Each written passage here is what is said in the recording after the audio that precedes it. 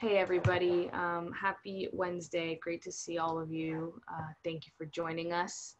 Um, if you are new to our masterclass series, um, my name is Chloe. I am the video editor here at Jazz at Lincoln Center.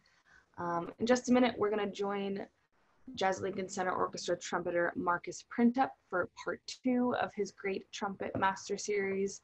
For those of you who were here on Monday, we got a um, we got into a list long list of trumpeters and, and, and great music. Um, and today will be part two of that. If you had questions from last week that we didn't get to, um, feel free to hold on to those and we'll try to get to as many as possible today. Um, so Marcus will continue to guide us through those innovations and styles of trumpet legends who have shaped the instrument's voice in the music. Um, after that, we'll, like I said, we'll be taking questions from all of you. Um, with that, I'll be, and then stay tuned to the end where uh, we have a we have some announcements just sort of about Jazz Lincoln Center and what's going to be happening over the next couple of weeks. So um, with that all being said, I'll turn it over to Marcus Printup. Enjoy everyone. All right, good to see you all again. Um, I don't have my gallery view on, but I assume that you're there.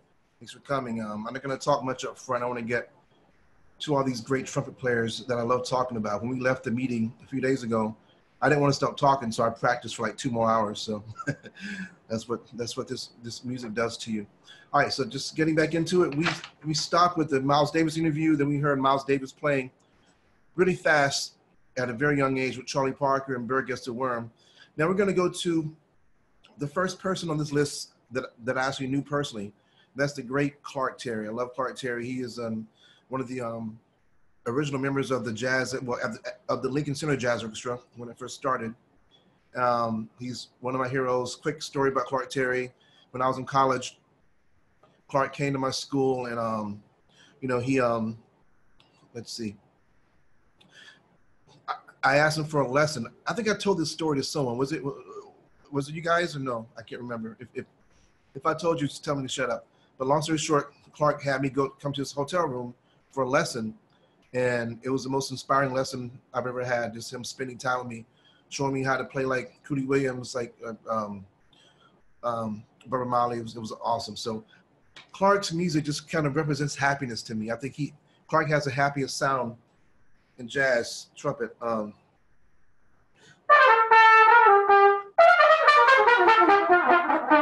you know that kind of thing. I can't play like Clark Terry, but that's kind of a hint. But I'm gonna play to you two things by Clark. Well, really three, but the first one is a short um, um, version of him interpreting a blues. So just check out the way he he's just so smooth. He's motionless when he plays. Everything comes out of his horn, and he's just a he's just a um, a very proficient technician, and he plays with so much soul. So this is Clark Terry playing on Straight No Chaser.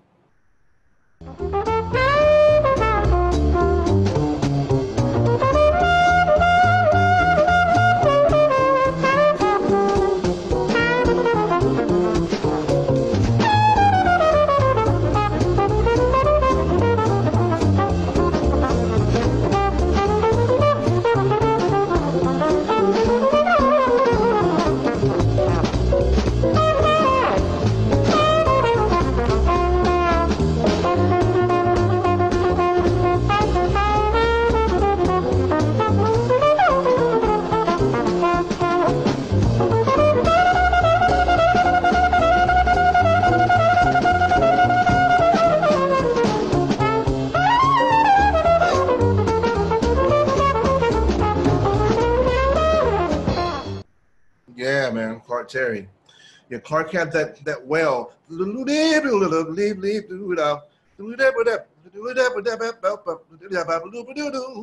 And he would he would do these things like he was singing in church.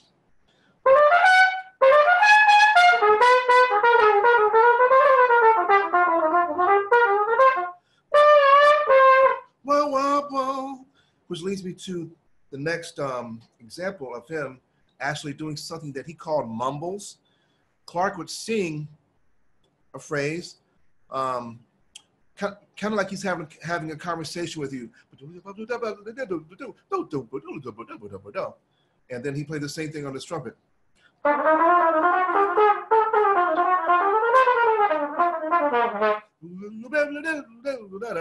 So here's a really fun take of Clark Terry playing with um, I think it's Woody Herman, is sitting in. Well, he's sitting in with Woody Herman's big band, but you're gonna really enjoy this. So check out Clark Terry playing Mumbles.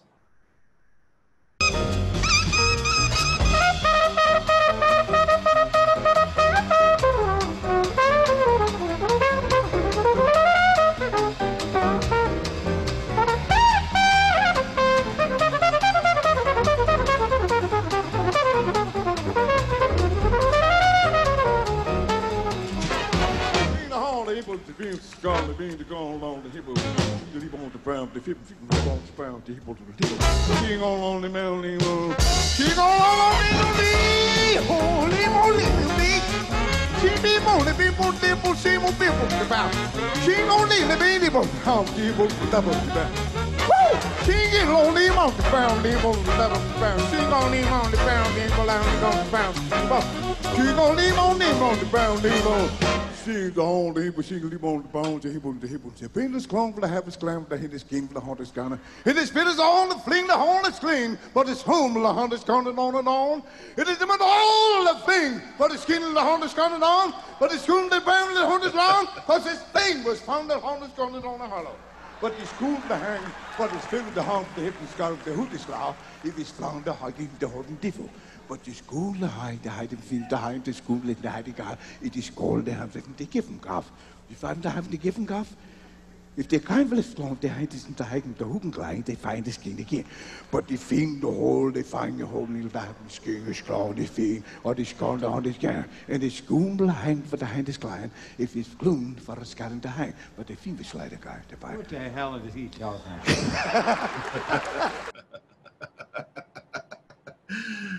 So that's what I mean about Clark having the happiest sound in jazz. Clark was always so happy. He was always so jubilant, and he just always had a kind word to say about everyone. And I really miss him. I got a chance to, you know, when I picked him up in my car, when he came to my college, we got to know each other, loved him dearly, and we got a chance to play at his his uh, memorial service up at Abyssinian Baptist Church. Um, and just to just to go through that cycle with him was very special. I'm so happy that I know him, Clark Terry. And we're going to continue. Let's see what's next in the list. Um, yes, with one of, I think maybe my first major trumpet influence. And I kind of go between this person and Miles Davis as being, and, and Louis Armstrong as being my favorites. But I think that I kind of gravitate more to this player more so than any of them. And that's the great Clifford Brown. Love Clifford Brown, man. Um, Clifford died tragically in a car accident when he was 26 years old. Um, with just so much promise and so much um, um, just joy in his sound, so much determination. There, there, there are many practice. There, there's stuff online now. If you Google Clifford Brown practice tapes, he he he would record himself practicing, and he was just like, just just heavy into it, man. Just just you know just playing things in all 12 keys, playing piano, singing while he's playing. He was like just like just like a consummate student of the music, playing with Max Roach. So um, I, you know, I could choose any Clifford Brown. I mean, there's so much. I mean, it's all great. So I decided to choose him playing a ballad actually, because a lot of people kind of associate him with just playing, you know, playing fast and playing tongue and all this, this acrobatic stuff. But um, he was a very sensitive ballad player too. There's a great record called Clifford Brown with Strings. I highly recommend you getting. Um, he just really knew how to interpret ballads. So Sarah Vaughan, the great vocalist, did a record. She said, I want Clifford Brown to play on my record. So this is Clifford Brown playing this beautiful solo with Sassy Sarah This is called September Song.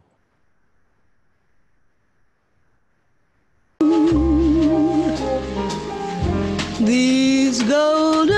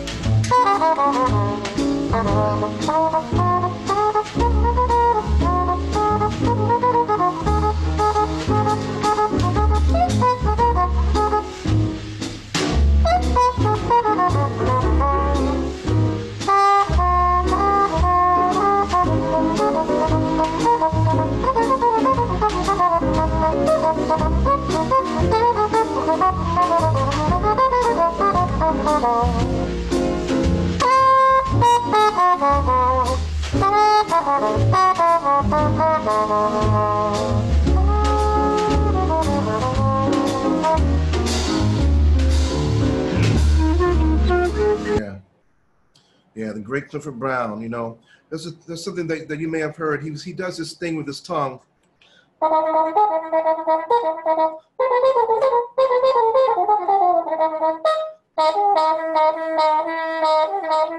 Okay, so this is my tongue. My, my, my, my, index, my index finger is my tongue. So, daddle, daddle. So on the uh, he's actually bringing his tongue back. And the only thing that's carrying the note is the air. So, daddle, daddle.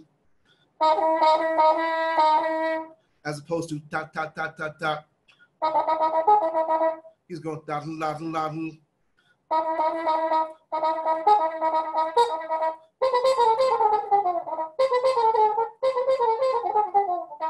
Yeah, I gotta practice. But um, that's something that Clifford Brown. Um, I don't know if I heard anyone do that before him. Some people would do those. You know, would, would do the. It's kind of called a ghost, a ghost tongue. It's like the tongue is there, but it's ghosted. You know, as opposed to. And Fats Navarro did that, and of course Clifford Brown loved Fats Navarro, and Fats Navarro loved Clifford. I think that um, um, was was it the Metronome All Star band? I think um, Fats Navarro invited Clifford to sit in with him or just to hang out with him there. But um, but Clifford Brown is my man. Love Clifford Brown. Now we have a treat for you. Next, we're going to play Clark Terry, Clifford Brown, and one of the, if not the, the greatest high note player of all time, Maynard Ferguson. Now, many many of you, if you've heard of him, and if you, you know, I, I'm sure that y'all are all hip, but if you um, haven't heard him play jazz, he was a great improviser, not just playing high notes. Um, but this is a great um, combination of three trumpet players along with the great vocalist Dinah Washington, and they trade like I think eight, eight or eight, eight or twelve bars each. The first player is um, Clark Terry, and then the second player is Maynard Ferguson, and then the third player is Clifford Brown, and then they trade, and it gets really heated. So this is Clark Terry, Clifford Brown, Maynard Ferguson with Dinah Washington. I've got you under my skin. But each time that I do, just the thought of you makes me stop before I begin. Yes, I've got you mm, under my skin.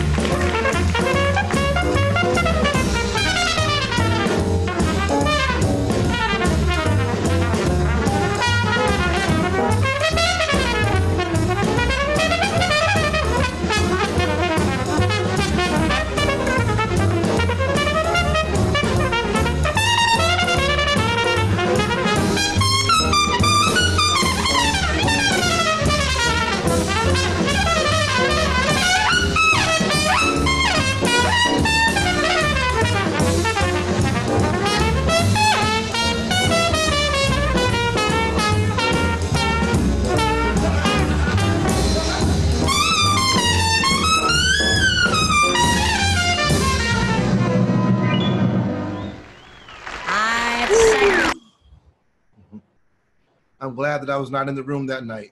I would have bowed down, man. Fantastic. Um, hey, before we continue, uh, Seaton, can you go back? Like I think the last 15 seconds or so of this, um, Clark Terry, um, Clark Terry let me in, let me in on a secret.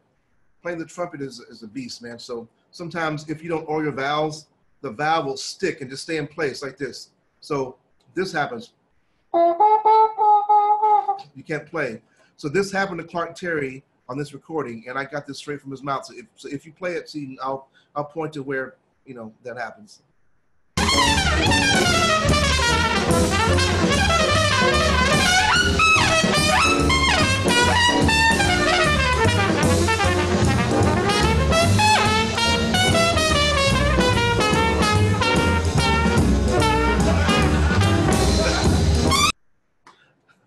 So that's just a, that's a, that's like a little tidbit of information from Clark Terry.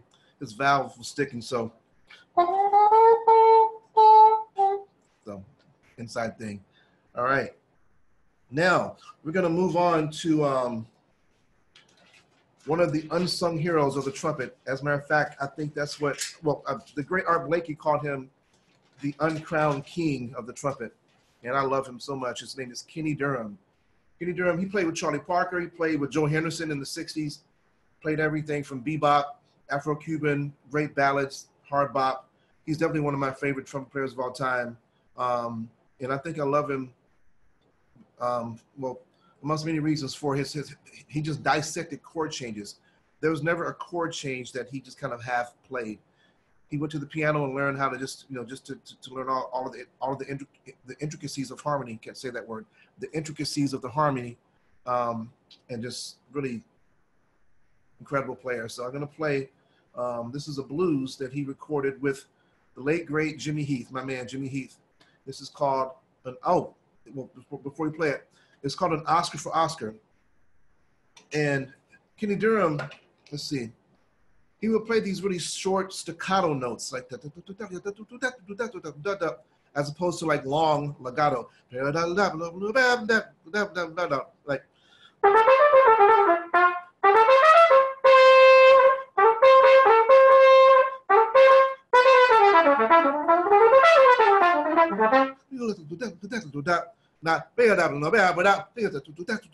so he would find a way to make those short notes just swing so hard. So check out Kenny Dorham in an Oscar for Oscar, Jimmy Heath. Yeah,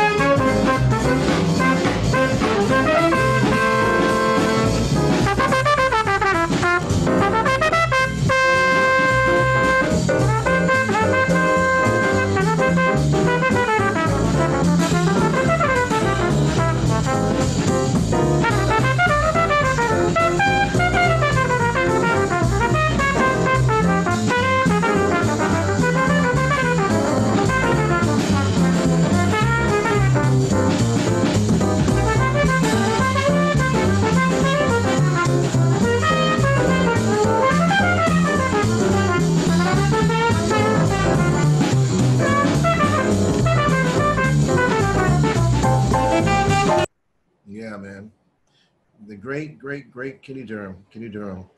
So I have a lot of trumpet players. I I can talk about them each for an hour, but I want to try to move on. Um, and if you have any questions, I guess you can raise your hands and I'll try to answer them. But um, I, I'd like to get through the list so we can have more of a Q&A time. But that's the great Kenny Dorham. Check him out. Now we're going to go to our second phase of Miles Davis.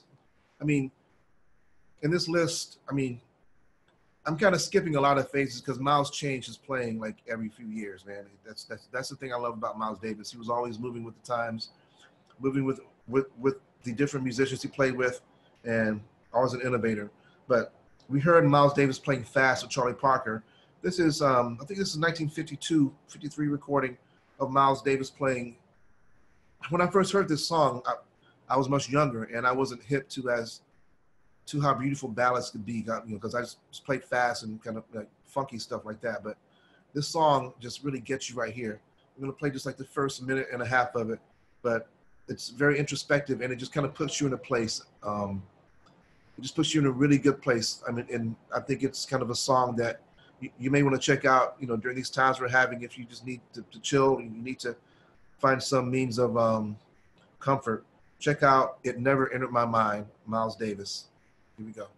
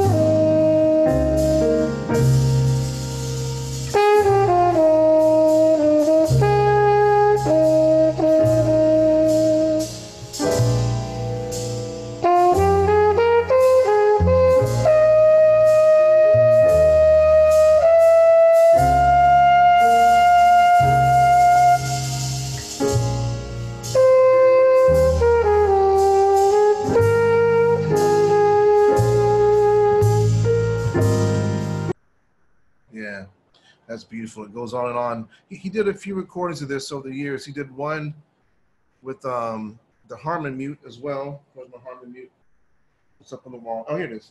He did one with the Harmon Mute, and the one you just heard he was doing with the cut Mute. And I think he did another version that was just open trumpet. But that song just gets me right here every time I hear it. It never entered my mind. Now we're going to move on to a trumpet player that was heavily influenced by Miles Davis one of my favorite players and one of my favorite solo solos of all time. As a matter of fact, every every trumpet student I teach have well they I kind of require them to learn Weatherbird by Louis Armstrong and this solo by Chet Baker. This is um, Autumn Leaves and Chet um, Chet had this he has this beautiful centered sound. Um, direct it, I, I can't say directly coming from Miles because he came from himself because he's Chet Baker, but very heavily influenced by Miles Davis. They, they totally dug each other. And um, Chet Baker sang.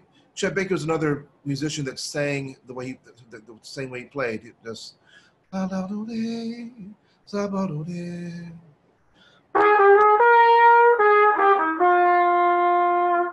know, he just had that connection between heart and this piece of brass right here. So this is a great track of him playing Autumn Leaves.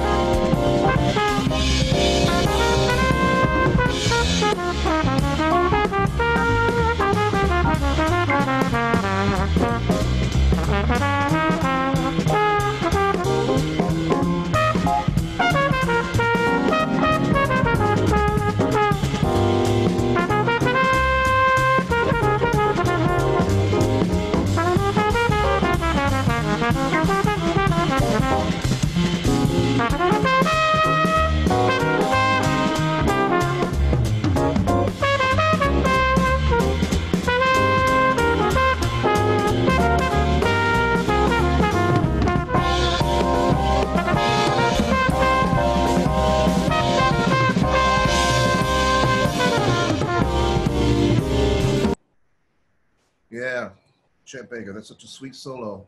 Chet Baker, Autumn Leaves. All right.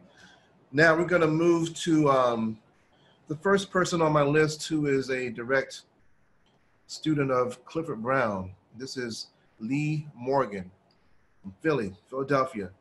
At the time of this recording, Lee Morgan was 19 years old. He's playing with John Coltrane, um, Curtis Fuller um, on on Train's record called Blue Train. Um, Lee was just so full of life, um, so full of exuberance when he played. He had this fire. And correct me if I'm wrong, Seaton. I, I think someone told me that his father was a, a minister or he had that, that church blood in him. But, but you know, Lee would do these these kind of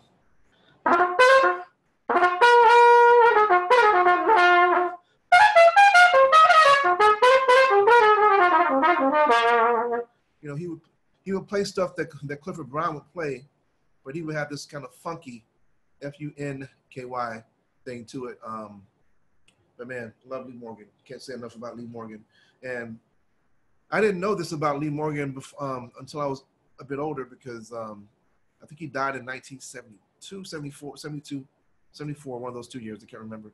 But he did these recordings called Live at the Lighthouse shortly before before he died. That was his strongest playing. Um, I think he, he started recording in the 50s. Thank you, thank you, Seaton. Um, in 1972, he passed away, but he did these recordings live at the Lighthouse. Man, check out those recordings. He was playing new music, and just his trumpet playing was just unbelievable, like far superior to you know what it was in his younger days. And in his younger days, he was a beast as well. But he loved Dizzy. Had a horn that was shaped like Dizzy's horn that goes up in the air. So this is um, Lee Morgan with John Coltrane at 19 years old, just killing it on Blue Train.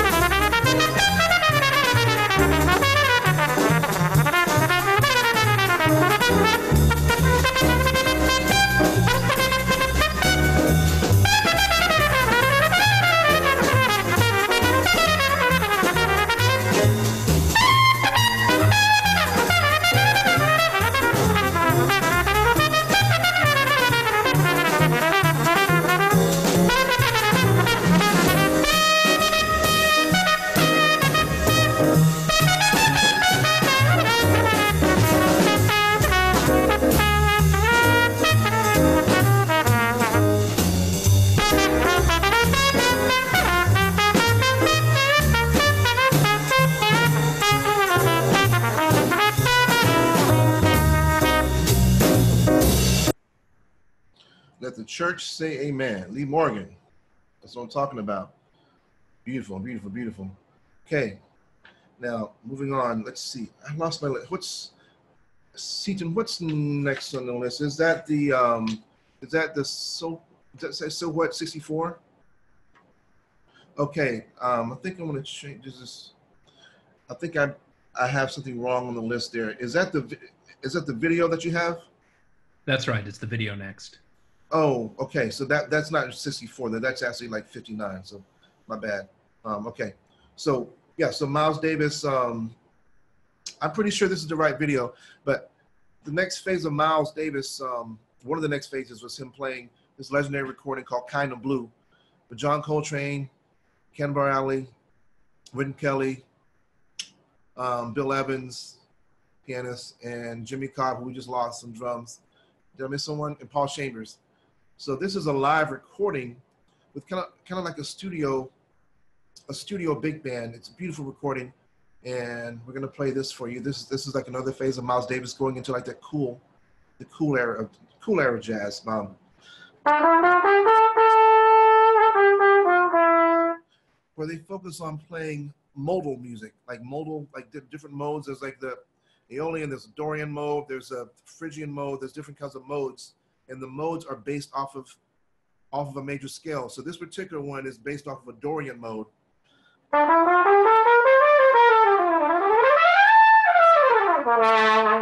So pretty much everything Miles plays is kind of based on those notes, but they're but, but they're carefully chosen out, um, and it's very beautiful. So here's Miles Davis playing "So What." Written by Miles Davis, he calls So What?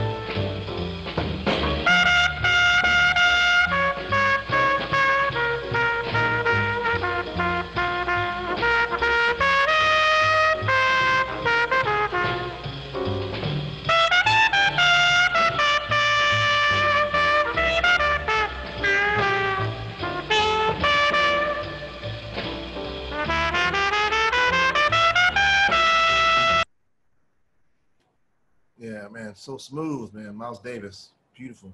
So what? Now I'm gonna call an audible. I'm a football player, so Omaha, Omaha, audible. We're gonna now go to um, I think what's number 25 on the list. Do you have that? Um, that's the other so what they're seated on the list. I think I got ahead of myself. Yes, indeed. Um, awesome. So now, this "So What" that we just heard was recorded in the studio in 1959, and like I said, Miles Davis really kind of shifted his music with, you know, with life, and that's that's that, that's what he did. He played life. So this next recording of the same song was recorded in 1964, and if you think about the the historical significance that significance of that, John F. Kennedy was shot um, a, a, few months before in 1963. Medgar Evers, all the civil rights um, activity was going on during that, that time. Miles Davis actually got assaulted outside of a jazz club where he was, his name was on the marquee. He got beat by the cops. So there's a lot of stuff going on in Miles's mind. And you can kind of tell by the way he's playing, um, you know, by the way he plays this same song that, that was once, now it's fast and like like that with the time. So so check out Miles Davis playing "So What" five years later, live.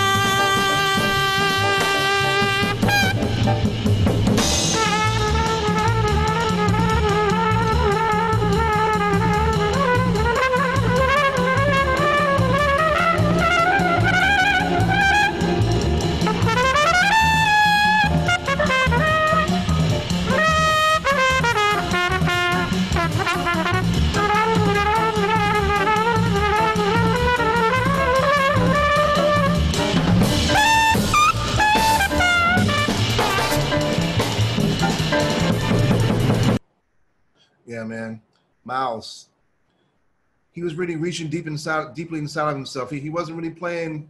Um, he played lines, but he just played um, those those shouts, those moans, those shrieks.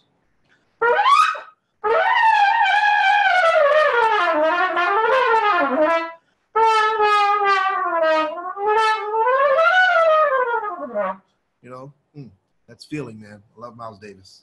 That's why I love Miles because he played the trumpet, but he was able to express just the deepest, the deepest part of his emotions in like a non non linear way at times as well. So this expression, Miles Davis. That's why he's on the list like five times. Now, I'm not gonna have time to finish today either, but all right, so we're gonna go on to one of my favorite trumpet players as well. He died at 21 years old of uremia. His name is Booker Little. Um, Freddie, well, Freddie Hubbard, who's next on the list, who I actually knew personally and loved dearly. Freddie Hubbard said that there are two trumpet players that scared him. One was Booker Little, and the other was Woody Shaw, who's on the list too. So let's just check out not this entire, not the entire cue of seating, like maybe, you know, just, just watch me and I'll show you when to stop. But this is Booker Little playing a ballad called Sweet and Lovely. Booker has so much technique, so much velocity in his playing. Um, such a promising young trumpet player.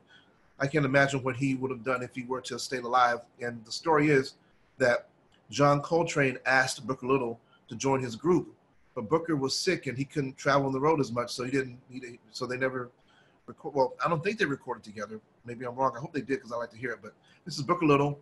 Check him out.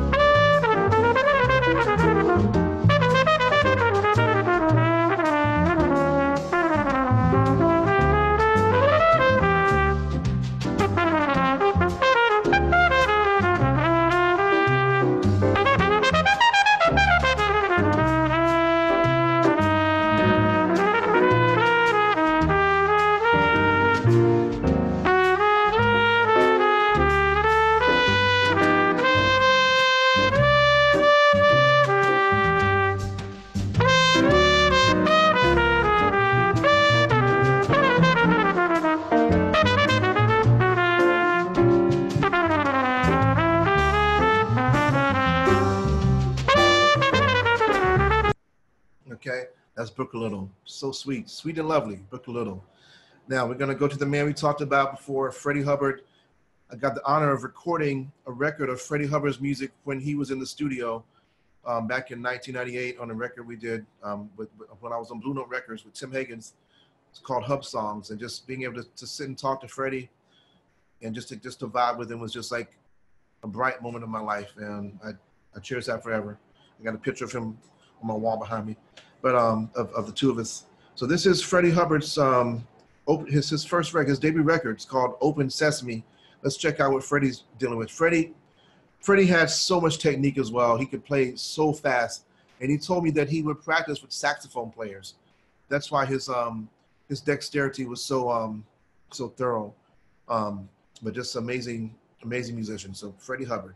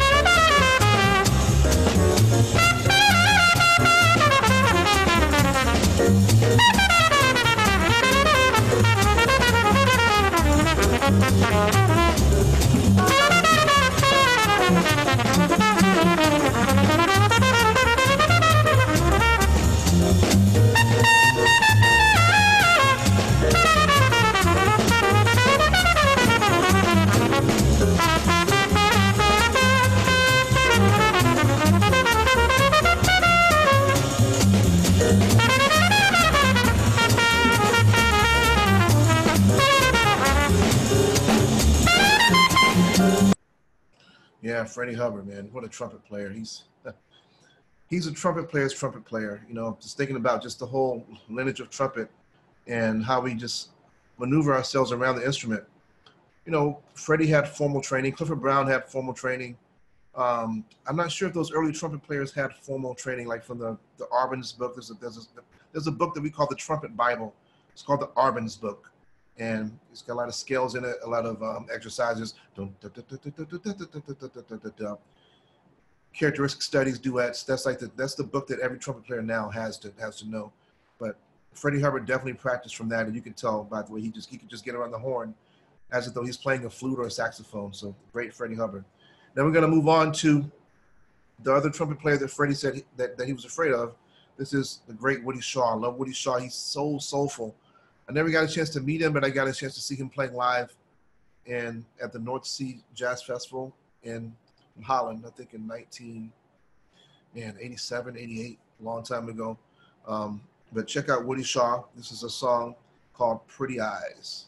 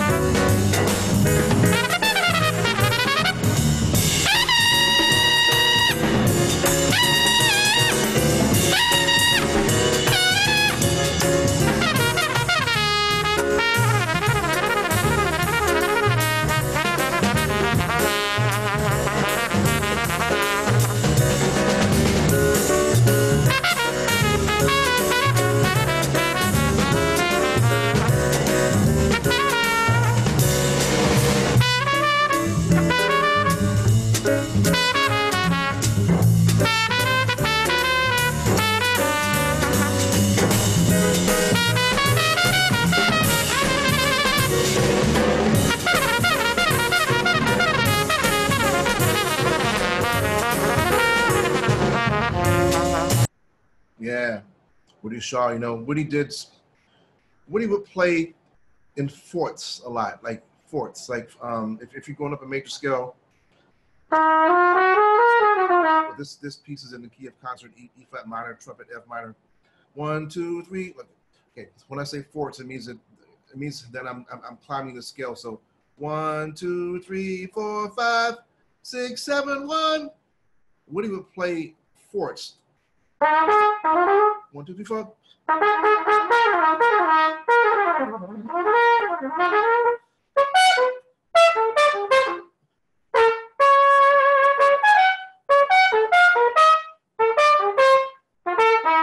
I can't do it well because I haven't practiced that, but that's that's that's kind of like a staple of his language, and I think he's the first trumpet player that I've heard to, to be able to master that. But he just heard that way naturally. That's what made him so special. So, the great Woody Shaw. Now we're going to continue to another wonderful trumpet player who I had the pleasure of knowing to this day, love him dearly, great Tom Harrell.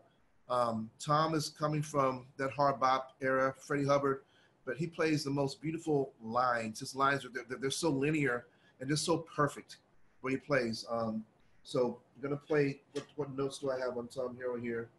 Um, yeah. And, oh, and between Kenny Dorham and Tom Harrell, both I think they played as much and Dizzy Gillespie. Dizzy Gillespie definitely. That's where it came from.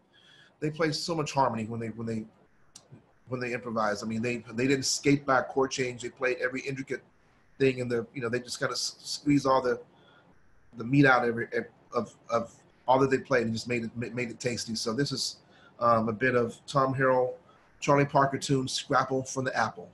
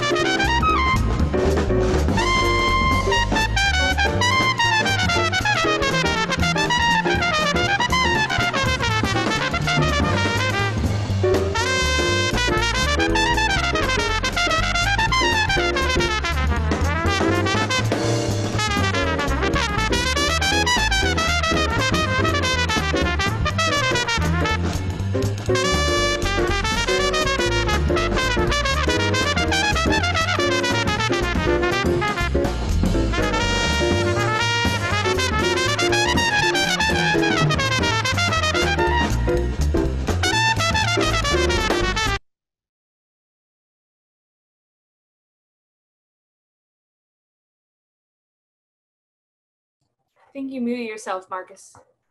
Thank you. Sorry about that. And next on the list is, I was saying yes, the great Tom Harrell. Next on the list is Miles Davis again. This is the first Miles Davis I ever heard.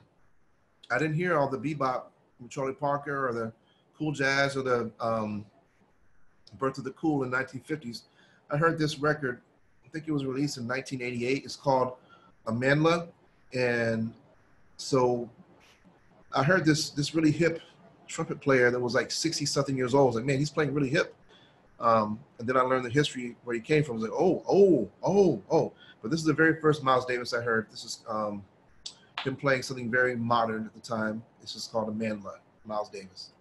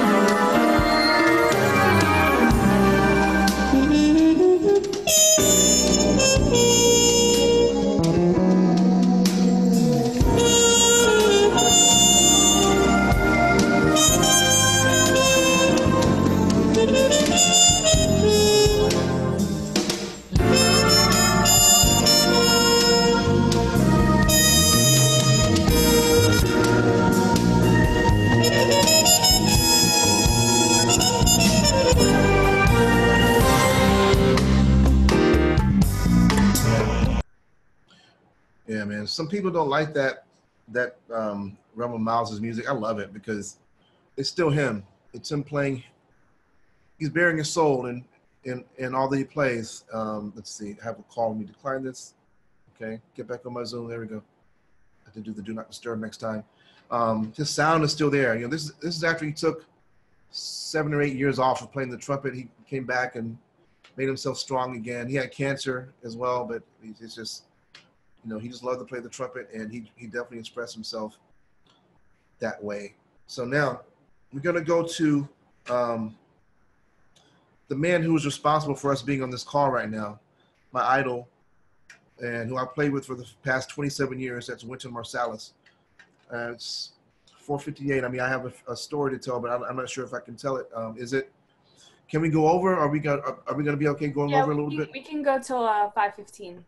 Okay, so let me talk really quickly. So, I'm this student at the University of North Florida. Back in 1991, I went to see Wynton Marsalis through Marcus Roberts because Marcus was playing with Wynton. Marcus Roberts was teaching a master class at my school and asked if I'd ever met Wynton. I said, no, I never met him. Drove six hours to Pensacola, Florida. And um, we got there right before the gig started. So Marcus Roberts said, hey, man, sorry I'm late. This is Marcus Printup. He's a kid from Jacksonville, Florida. So Wynton's like, yeah, man, it's good to meet you. Printup. All right, boom, boom, boom. So I, I met Wynton. He's like, yeah. So I'm backstage the entire time, just just watching them perform and, you know, seeing Wes Anderson on alto, Todd Williams on tenor, um, Herlin Riley on drums, um, uh, Marcus piano, Reginald Veal on bass, and of course Wynton on on um, trumpet. So for the final tune of the night, Wynton said we're going to have a young man from Jacksonville, Florida, sit in with us. Now, mind you, I'm from Conyers, Georgia. I was going to school in Jacksonville, Florida, so I had no idea he was talking about me, but he was talking about me. So I went up and played the blues with um, se- sex septet, seven-piece band.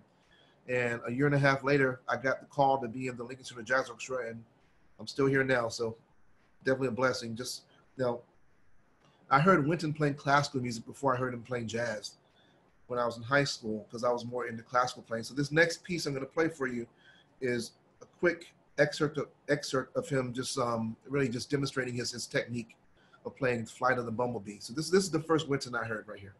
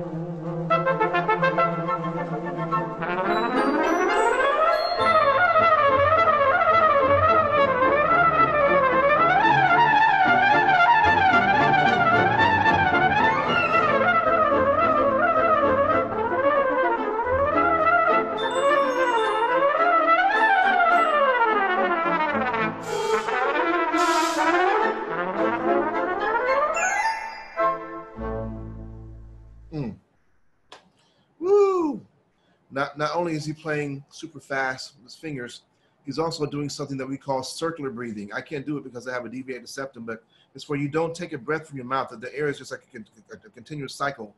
So you can basically breathe off of one breath like the entire day if if, if you choose to do so. So um, that's my boss. Love him dearly, Wynton Marsalis. And um, you know, not that Grammys are a judge and um, or not that Grammy set the bar as far as how much talent you have, but you know, Wynton won a Grammy in jazz and classical in the same year. I think it was 1982, 83. I can't remember which year it was, but he played a classical piece on, on the award show, and then he played this next piece. I'm just going to play like maybe 30, 40 seconds of it. Um, and then he gave this great speech about how we need to support the real musical jazz. It's, it's, it's kind of cool to watch that clip. It, you know, you, you can find it online. I think like Michael Jackson's Michael Jackson's like in the first row, like looking, yeah, okay, yeah, I dig it, I can dig it. But you know, this man, you know, we owe so much to him. Um, we're blessed to have him here. So this is off of one of his first records. This is called Knozz-Moe-King, which kind of means no smoking.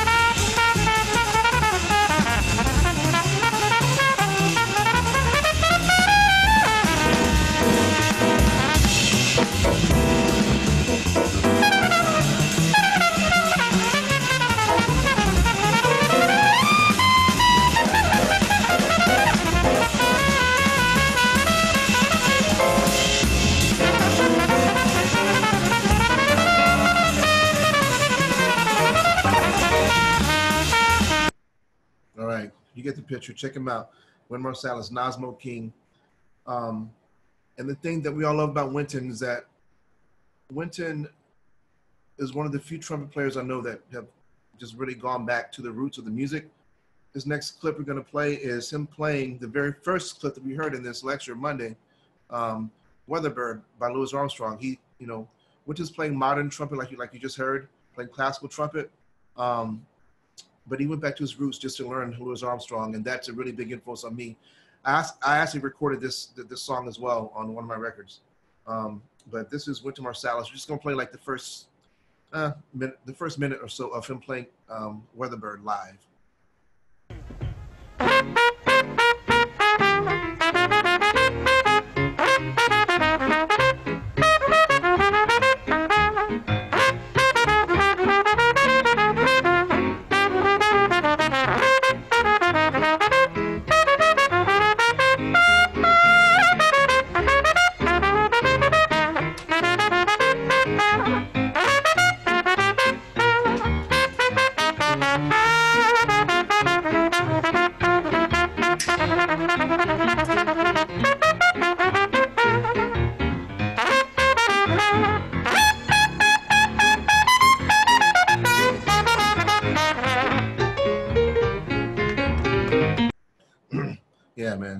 Check out that that entire um, recording of him doing Weatherbird live. It's be- very beautiful. So, so Wynton taught us about the music, the history, and the next person on my list is one of my contemporaries as well. And I think that I can safely say that he was the leader of our generation of playing, and we just lost him a few years ago. And it's really sad to have him on this list, but at the same time, I'm happy to have him on this list. Is the great Roy Hargrove. Um, I met Roy Hargrove when we were, I think he's a few year, a year or two younger than, than, than I.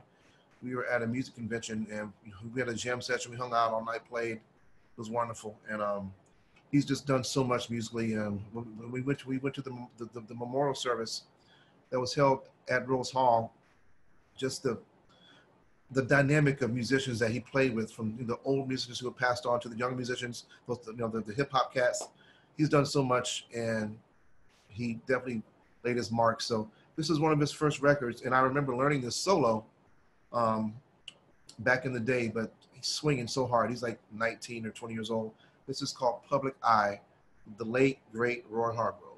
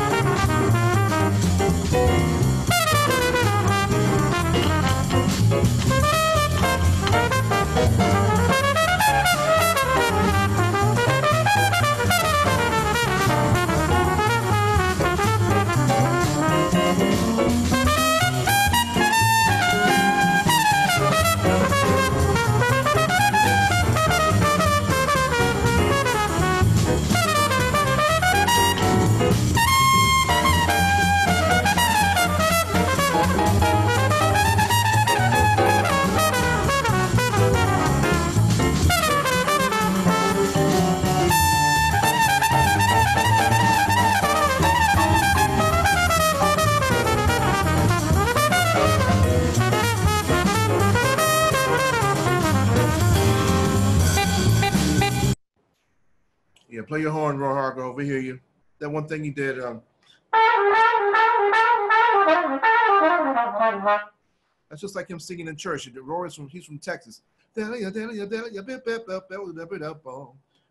another cat that could play what he what he's what he what he's saying too. So man, my man, Roy Hargrove.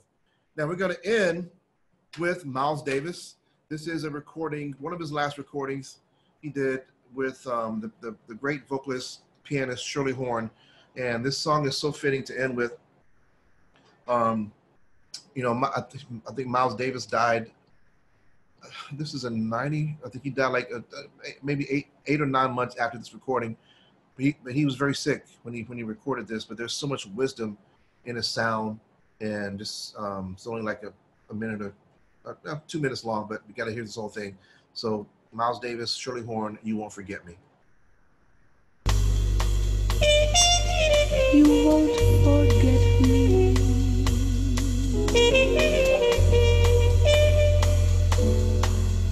Just wait and see.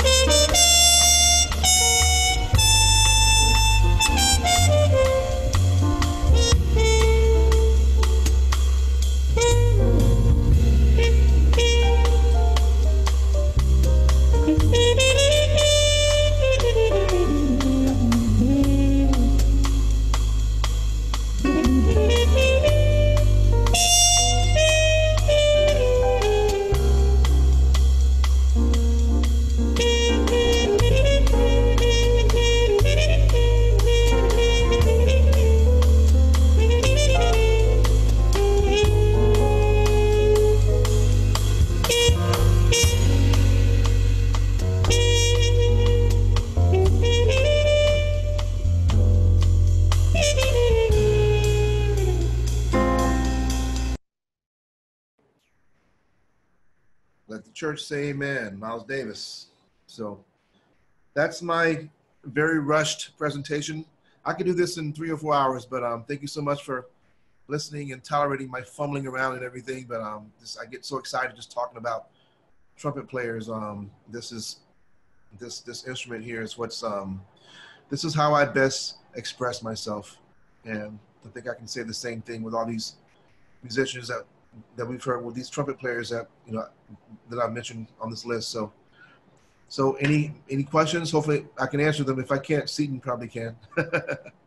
Yeah, so unfortunately, we it's already five twelve, so uh, we have a we have a class that comes in at five thirty, so we have okay, to, okay, um, prepare. Okay. But we'll maybe let's try to get to one or two um, Okay. these. Um, but no problem because we've all been enjoying this. Um, awesome. I can speak for everyone. Uh, I'm gonna try to get to some new names just just in the interest of time. Um, let's take a question from Bradley. Hey, Hey, Bradley. Bradley. I'm trying to unmute you. Just give it one second. It's a finicky. Can you try and unmute yourself? There you are, Hello? Bradley. Good. Um, can y'all hear me? It's good. Yes, Yeah. we hear you. So, uh, thanks for talking about Miles so much. Um, Oh, Miles, I love him. musician. Um, I consider myself privileged to have seen him twice in concert. Um, one thing I wanted to ask you, maybe to touch on, is so many of his uh, recordings, especially like Kind of Blue and some of that work, it's like the notes would leave his horn and just hang there in space. Yeah, I don't know if he did it. I don't know if it was his horn, his technique, the notes that he chose. It was just even some of the music that you played on this thing, you could hear that. you know, you can definitely hear. it. You know, like I was saying, I think I said it Monday. Um, I had the honor of teaching a course on Miles Davis in the um, the Jazz Academy that we do at Jazz at Lincoln Center, and I found out something about Miles that I never really, well, well, I read it for the first time, but now that I think about how much I listened to him, it's so clear and obvious that, that he did this. Miles Davis did not like to use vibrato, you know. His tone was just so straight, you know. And maybe that's what you're hearing, you know, with the, you know, you know that's, maybe that's what you're hearing when you hear his, his air just floating, you know, like the way he plays. I mean, not, you know.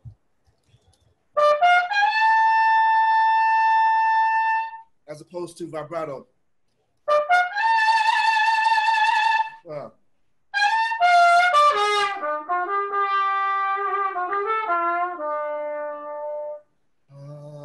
it's just air. It's kind of it's kind of like a bagpipe. If you've seen a bagpipe he played, I guess they, I don't, I don't, I don't know the, the whole technical thing of it, but there's a big air um, balloon, whatever you call it, the tank, and they fill the tank with air, and then they let the air work for them while they press the valves or whatever. So that's that's what Miles Davis is. His stomach, his his his, his um his gut is like, straight tone. It just floats in the air, you know. Awesome. Well, I, I definitely want to get in on that Miles class for sure. Cool, cool. Thank you, Bradley. All right, let's try to get to one more. Um, let's take a question from uh, Steven Wasatsky. Sofsky. Hey, Steven. There you are. Hey, Hello. Steven. Great program, Marcus. Thank you, sir. Two parts isn't enough. I, I, we need four or five parts. Yeah, I'm down. I, I saw you on Monday. I, I missed the um, the album and the track that Miles Davis was playing on back in 1947. It was a bebop, hard bop, but killer. That's that's Oh. bird gets bird gets the worm. Bird Gets the Worm is the Bird track. gets the worm. Yes, I think there's like two tracks. There's alternate take and there's that take as well. But Miles is playing fast behind Charlie Parker on both of them. Bird gets the worm. and the album title. I do not know, but, it, but you know, if you just Google "Bird Gets the Worm," Miles Davis, you know, it'll come up. Okay, great. Thanks again. Sure. Thanks Thank again. you, man. Thank you. All right, Stephen, thank you. All right, since that was a somewhat short question, let's try to get one more. Um, let's get one from Eric Lundquist. Hey, Eric. Hello, can you see me, hear me?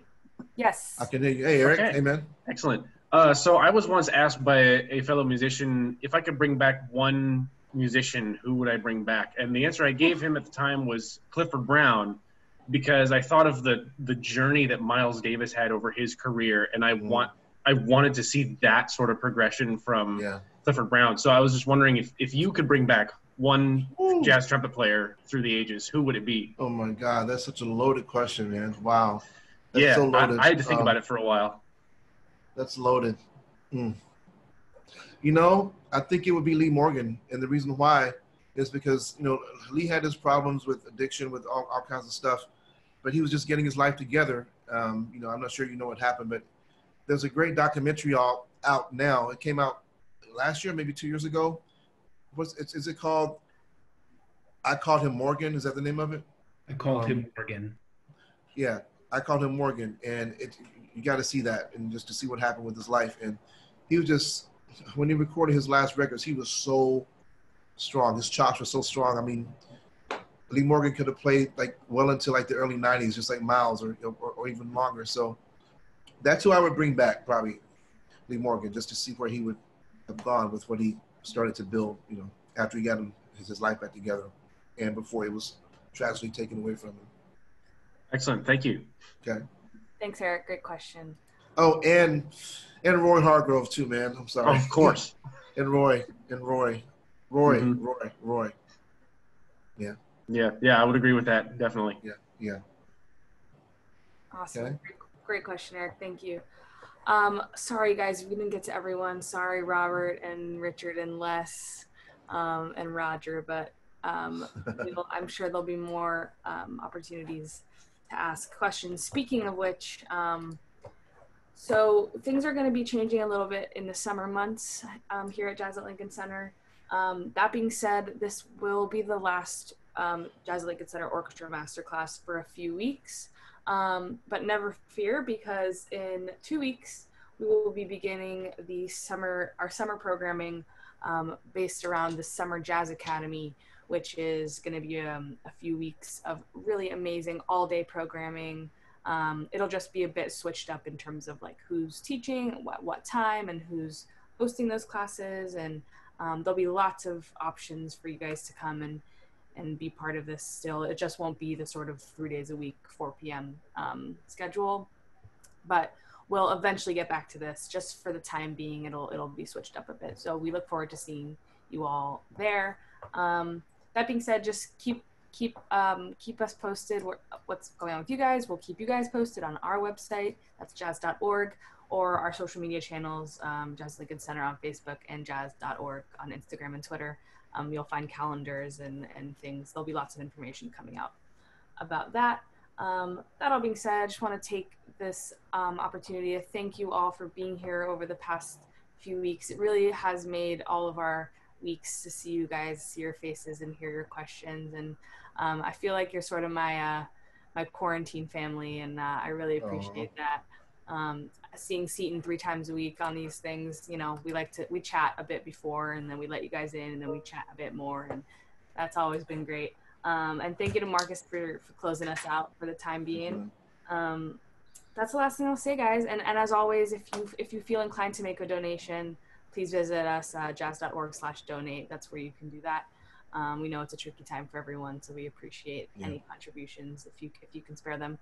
Um, all right, I'll, I'll end it there. I'll turn it over to Marcus to say goodbye, and thank you again so much, everybody. All right, thank you all so much. Be safe out there and stay positive, and let's um let's do the best we can. Love you all. Thank you for your support. Thank you. Take care, guys. Bye bye. Bye.